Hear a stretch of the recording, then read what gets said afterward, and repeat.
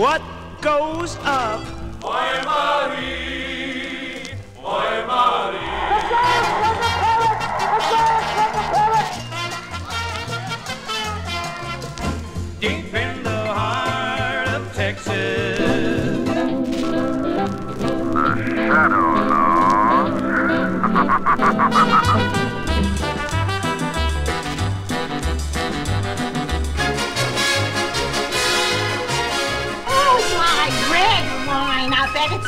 it's Manischewitz. No, it isn't. I buy strictly American. Time now for spinning my dad's vinyl. Here with all his skips, scratches, and pops is my dad, Frank Vaccarello. Thanks, sweetie. Thank you for tuning into episode 198 of Spinning My Dad's Vinyl. Here's an album filled with some of the biggest big band jazz orchestra leaders there ever were. And they're the songs that each leader was most identified by. It's also a special promotional copy with a Cleveland area connection, which is probably why it's in my dad's collection. Plus, it brought back some memories of TV commercial gold. So, get ready to hear tunes that introduced the bands that played them in Volume 198 Big Band Themes.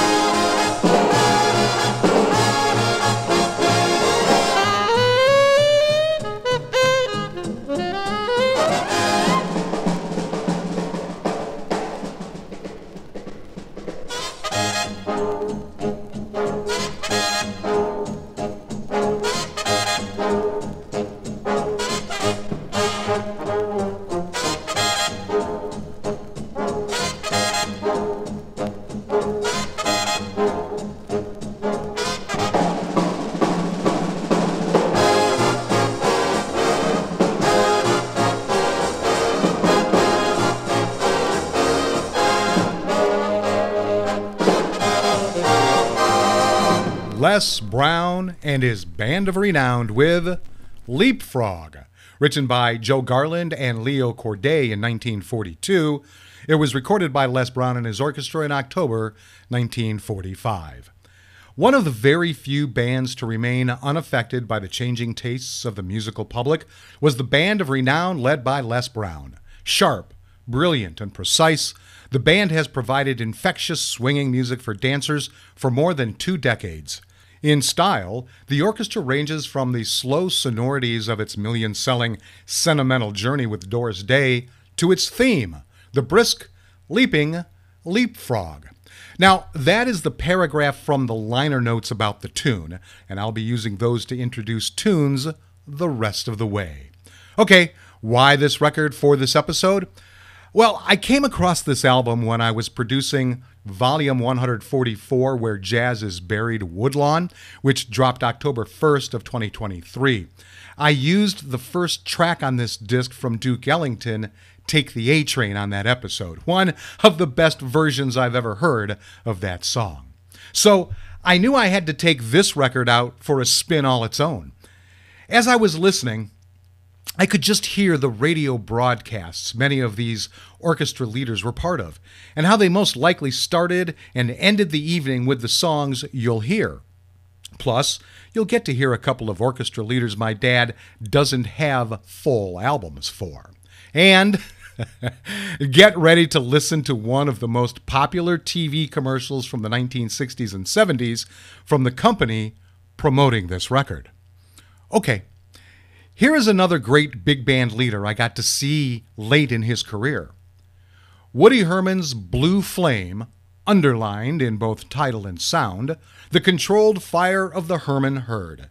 Beginning as the band that plays the blues, the orchestra soon became one of the foremost exponents of modern dance music. Brilliant arrangements of exciting compositions won the orchestra international popularity that endured through the temporary decline of the big dance band.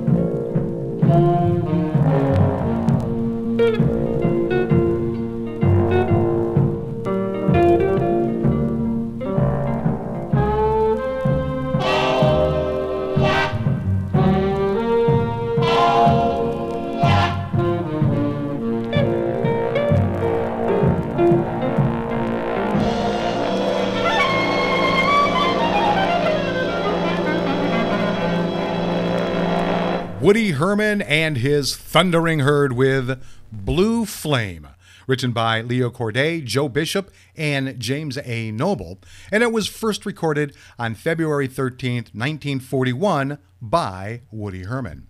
Okay, let me tell you about my dad's vinyl I am spinning for this episode. Various artists dance to the themes of the greatest bands. It's on the Columbia Special Products label, number XTV68511. It's a vinyl LP compilation format. It was released in 1963, which was not listed on the Discogs page where I take this info from usually. I had to do some math based on the information found on the back cover, and I'll show my work later in this episode. its genre is jazz, and its style is big band. We will hear six of the 12 songs on this album. Now, this same album was also released under the title A Man, a Theme, and His Orchestra with a different cover. And I noticed that the liner notes were the same except in larger font than the one I'm playing. It's because there is a large advertisement missing from that one. And I'll tell you about the ad on this one a little later. I'm already using the appropriate liner notes to introduce each tune. So Let's see what prices this record is being sold at on Discogs.com. Now, it's only been sold three times there a $29.95 high, $6.50 low, and it was last sold on September 27th, 2020 for the median of 1995, which gives it an $18.80 average. I found copies on eBay from 550 to $88 and I found some on Amazon for mostly under 20 bucks. Now, my dad's record is in poor condition. You've already heard a couple of skips, and there's more to come. The surface is filled with wear marks. He must have played this one a lot. The cover is in poor condition. There's lots of wear marks on the front cover, and the paper is starting to come off the back cover right along the bottom. Uh, there's the word posted stamped on the back next to a check mark in pencil, and he has his address label on the front, along with some markings I've never noticed before. It looks like he had a number on the cover, but then crossed it off. I have no idea what that's about. So, I'll value my dad's vinyl at a buck. There's some good music on here. Next up is one I remember playing at the first radio station I worked for. The rippling piano and deep, rich tone of the Claude Thornhill Orchestra, where nowhere better exemplified that in the theme song Snowfall.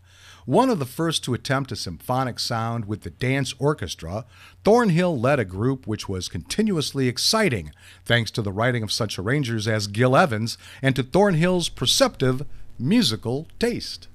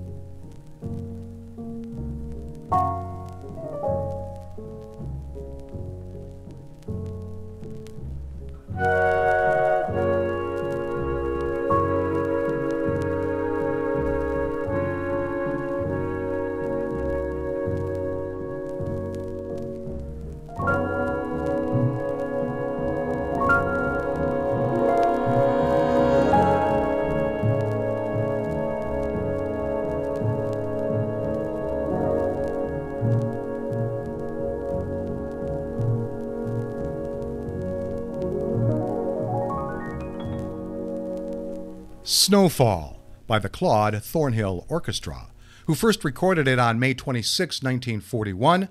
That was written by Claude Thornhill and Ruth Thornhill. And since we don't have just one artist featured, we'll skip the bio section I usually do here and head off to the next song.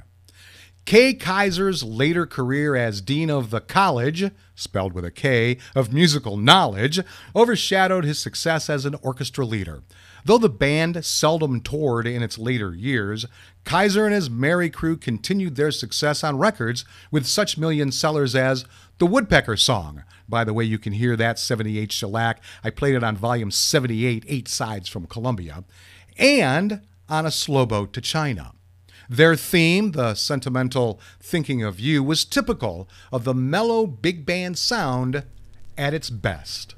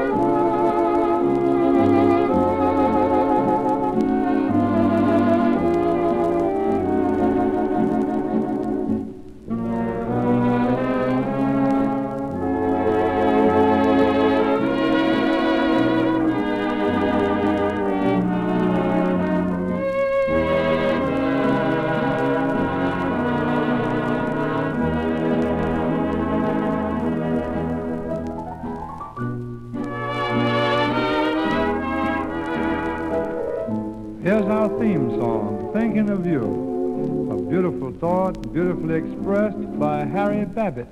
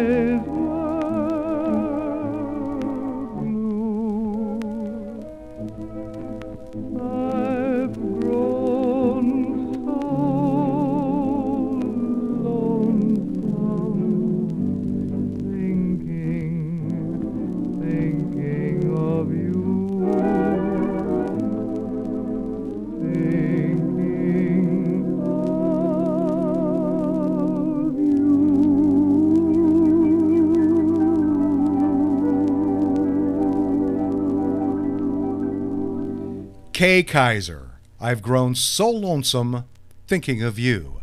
Written by Bert Kalmar and Harry Ruby. It was recorded in New York January 9th, 1939, but not released until 1941.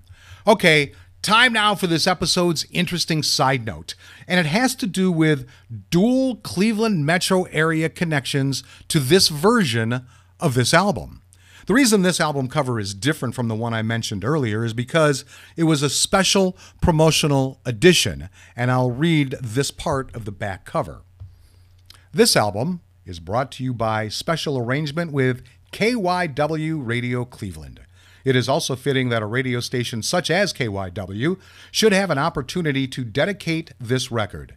Its music represents the finest entertainment American had to offer through the 30s and 40s, and it was never further away than your radio dial. Yes, that was a typo, and I read it the way it was written. Now, KYW is currently WTAM, a 50,000 watt clear channel station. Now, Clear Channel, the term not the company that morphed into iHeartRadio. Clear Channel means that no other station uses that frequency in the country in order for emergency announcements to be made more effectively. WTAM started out with those call letters in 1923. Yep, they're celebrating being on the air for more than 100 years. They were KYW for only a few years from 1956 to 1965 when Westinghouse owned them. They were then WKYC, also the original call letters of the NBC station in town, but not connected.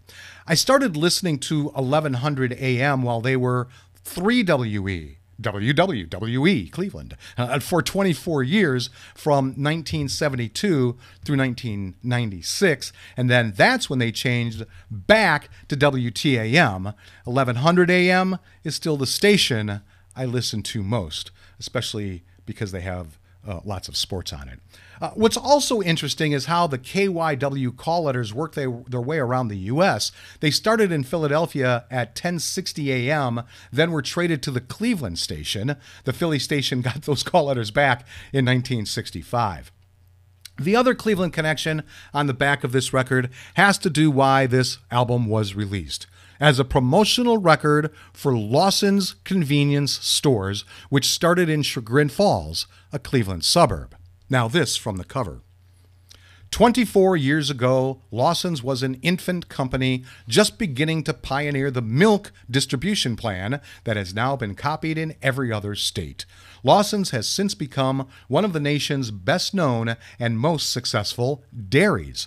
So it is especially appropriate that this 24th Lawson anniversary album should offer a musical salute to the great growth years of the 30s and 40s. Now, it was during these years when Lawson's was beginning to revolutionize milk buying habits everywhere that America's big bands enjoyed their golden days.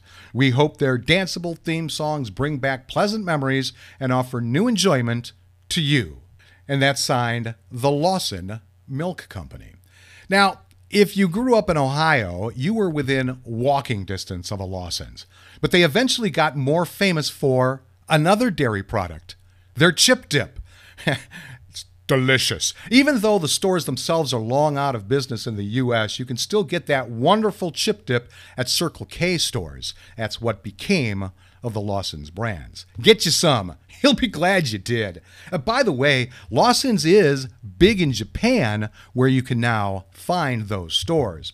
And don't forget, speaking of music, Lawson's also changed the way we got orange juice delivered to us in the North, and this is how we found out about it. This is the story of a tank truck express they call the Big O. She hauls Lawson's fresh squeezed orange juice nonstop from Florida. Roll on, Big O. Get that juice up to Lawson's in 40 hours. Now the oranges ripen in the Florida sun. Sweet on the tree they stay. Then they pick 'em and they squeeze just as quick as you please. And the Big O leaves the same day. Roll on, Big O. Get that juice up to Lawson's in 40 hours.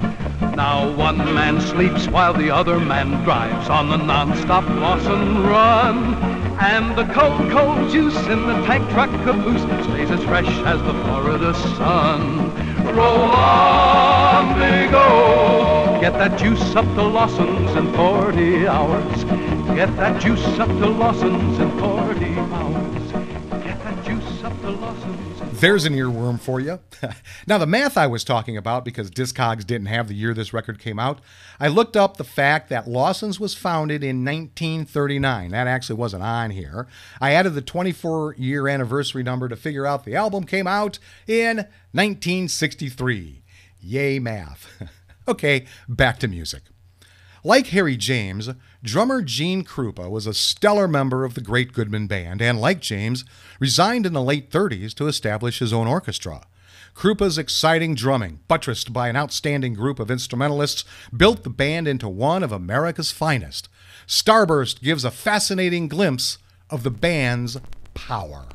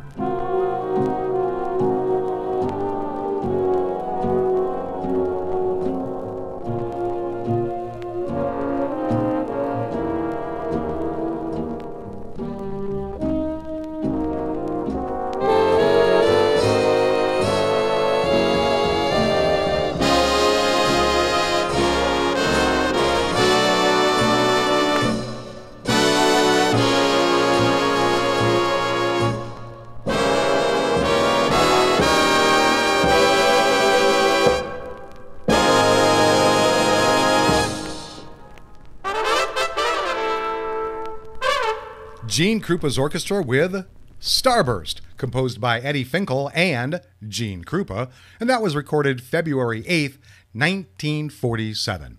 Well, I hope you enjoyed this episode as much as I enjoyed bringing it to you. I got a kick out of the Cleveland connection, but since my dad grew up in a suburb of that town before the family moved to a more rural community, he always had a special place in his heart for anything from that area and that neighborhood especially. I also got a kick out of hearing some of these band leaders and the music they produced. This is not a disc I remember my dad having out in the stacks. I'm pretty sure I would have recognized the Jay Maisel photo from an odd angle looking over a drum set if I had seen it before. Oh well, that's why we're pulling them out one at a time. And finally, for two decades, Count Basie has led his lively orchestra around the world, scoring huge successes wherever he goes. A solid, swinging organization, the Basie Group has remained a constant favorite. One O'Clock Jump, Basie's theme, was developed from a late night riff into an enduring swing classic.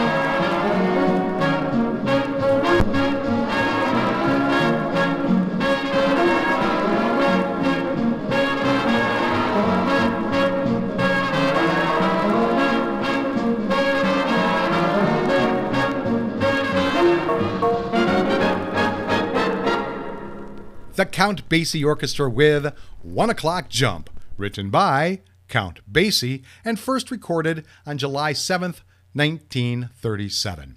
And there you have selections from a collection of popular orchestra leaders with the song most closely associated to them. So thanks for tuning into volume 198 Big Band Themes However You Did. If you want more information about this show, head over to spinningmydadsvinyl.com. I'll be back next week with all my skips, scratches, and pops for volume 199 Tea and Trumpets. Until then, go with the flow, my friends.